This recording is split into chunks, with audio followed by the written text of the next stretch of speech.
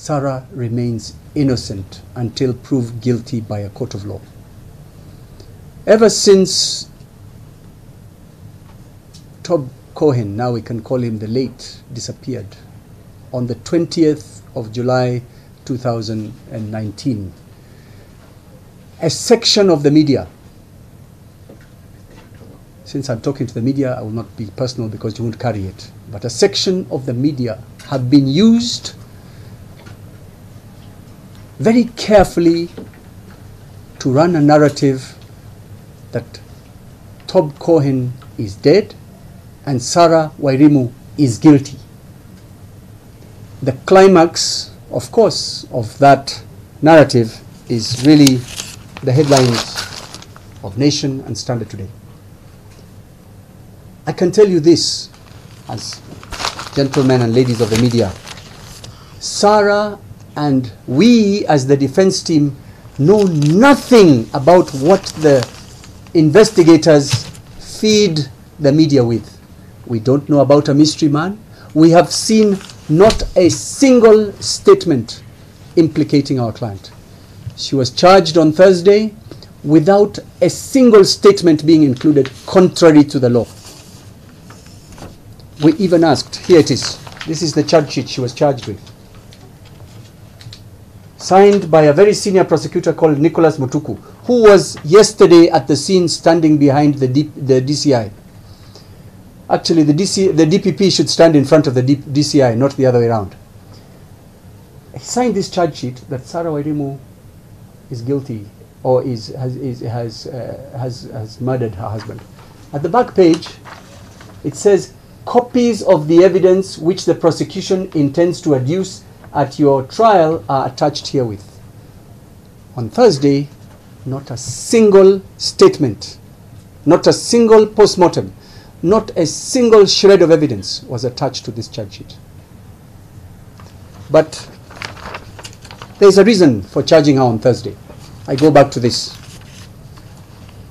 Sarah was arrested on the 28th of July 2019. She was arrested as soon as she invoked her rights to remain silent and have a lawyer present. And she has been locked up in custody from that day. How many days are those? They are now 29? No, no, 17. Sorry, I'm sorry. They're 17 days. In 17 days, I emphasize, Sarah has had no opportunity to do anything in her house except on two occasions she was taken to take a bath and change her clothes under escort of the DCI. During that time, everyone and anyone, including the DCI, have had access to her home. Now, they had been harping in court in the Kiambu court, in the High Court, that they are applying to treat the home of the Cohens as a scene of crime. You all know there is no requirement for the police to get an order to treat a scene as a scene of the crime. All they have to do is say a crime was committed here and seal it off for the purposes of the investigation. But why were they asking? Because they wanted an opportunity to finally say there is something we will find. In Kiambu, the magistrate said there is no law requiring uh, you to treat, uh, to, to treat any place as a scene of crime. You are at liberty to do it at your leisure. They still did not move. However, on Tuesday, the 10th of August, they called us and they said, We are taking your client from Thaiga police station to her home with the scenes of crimes officers.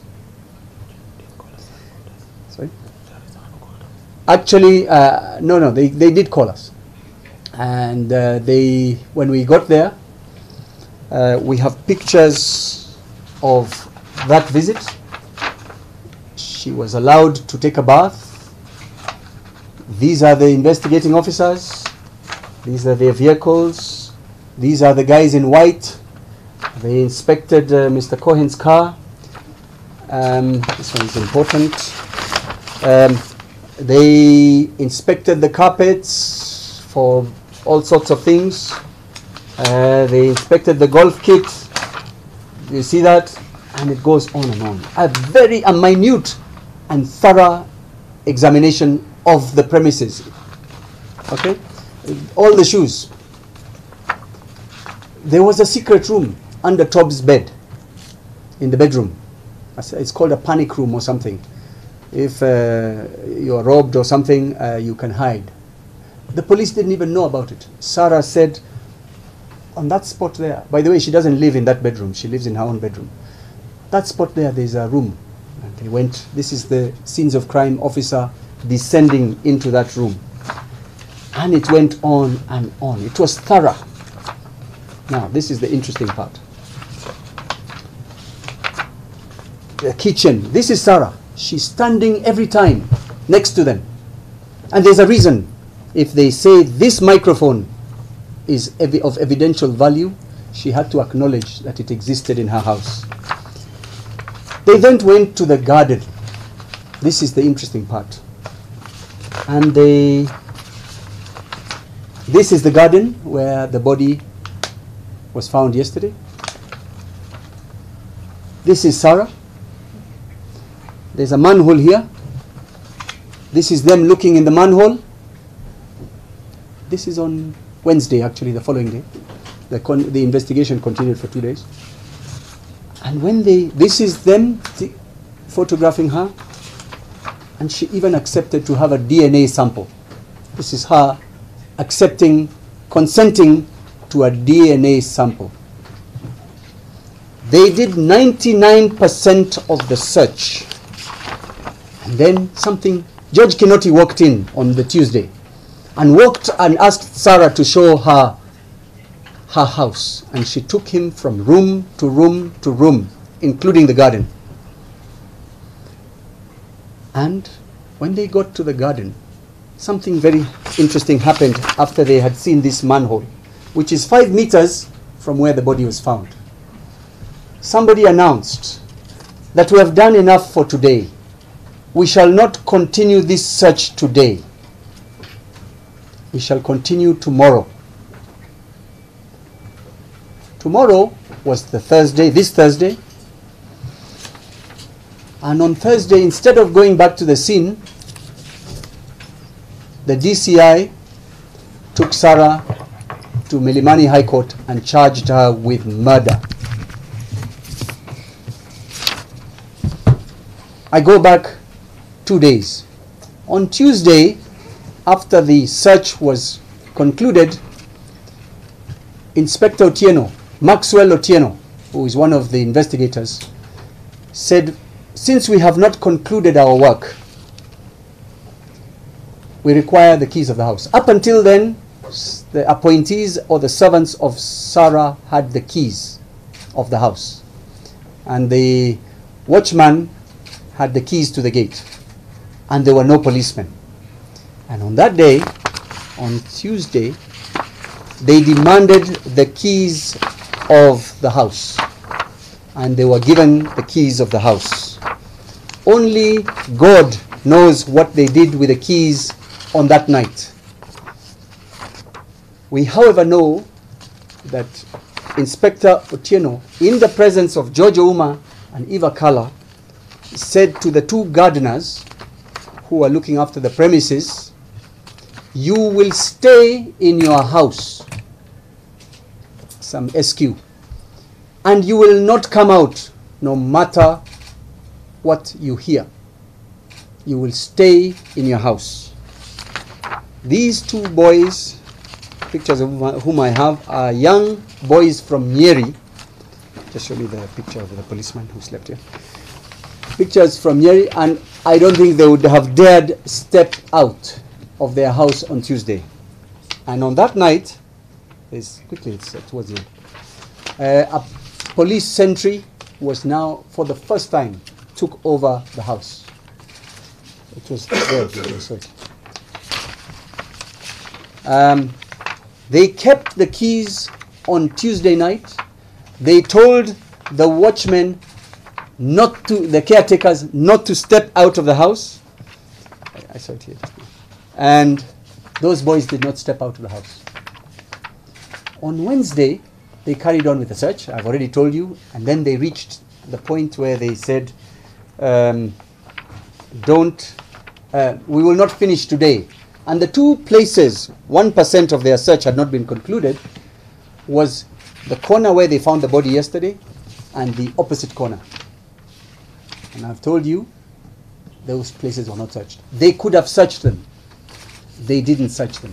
They could have searched them in the presence of. I just put it, gave it to you. A policeman sleeping on the on the. Oh, yeah, that one policeman.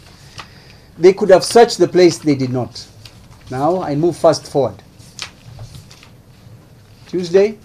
Oh, and that day, as my team was leaving, the premises were taken over and an armed policeman was left to guard the premises. This is the same day Maxwell Otieno tells the two boys, Don't come out of your house no matter what. Wednesday, there is a search, it stops. Two points are not searched. They go away. Thursday, we are in court. Friday, yesterday, at about 2 o'clock, my team had an important meeting in the Kiambu area discussing this case with some people. And about 2.40,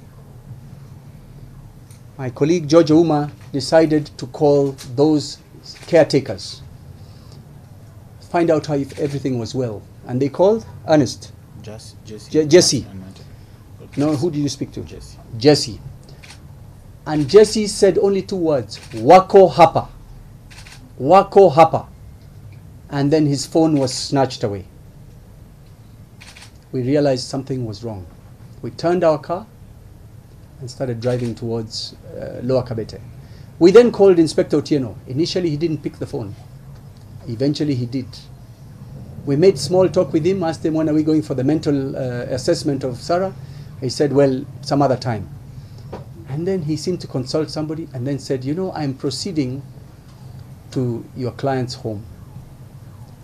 Why don't you come? I said to Mr. Otieno, how do you proceed without us? How do you proceed without Sarah? He said, but we are going there. What for? "Ah, you come if you want. We, he didn't know we were quite close. We got to the house. We found the gate closed except for a small opening. And in a classic case of gate crashing, we went into that compound. When I say gate crashing, we, sim- we went, everybody became as small as me, and we went through the gate. We, there was a small opening.